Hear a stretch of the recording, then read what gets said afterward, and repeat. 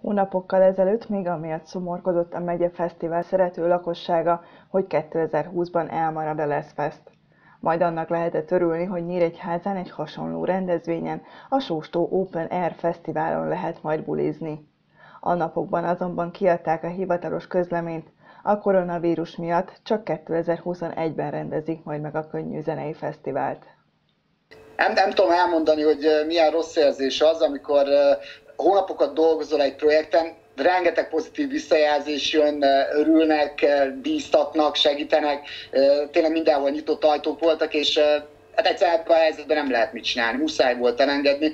Nyilván a, a, az életbiztonsága az, az az elsődleges szempont, hogy ne sodorjunk senkit veszélybe, úgyhogy nem tudtunk más dönteni. A szervezők teljes élményt szeretnének nyújtani a fesztiválozóknak, így egy későbbi augusztusi vagy októberi időpont sem jöhetett szóba.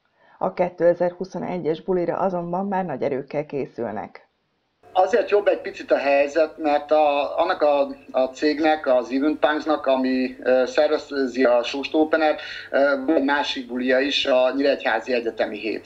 És uh, az egy picit később ért uh, abba a fázisba, hogy azt, azon is el tudtunk kezdeni dolgozni, de így most uh, sokkal jobban össze fogjuk tudni hangolni a, a két zenei rendezvénynek a felhozatalát.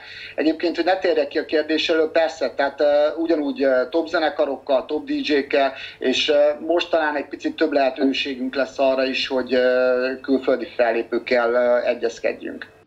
Török László hozzátette azt is, a fesztivál szezon kiesése nem csak a zenekaroknak és szervezőknek jelent hatalmas problémát, hanem a fesztiválokra kitelepülő vendéglátósoknak és szponzoroknak is. Egy sörgyárnak például hatalmas bevétel kiesés egy fesztivál nélküli nyár, így kérdésessé válik, hogy a 2021-es fesztiválokat hogyan tudják majd támogatni.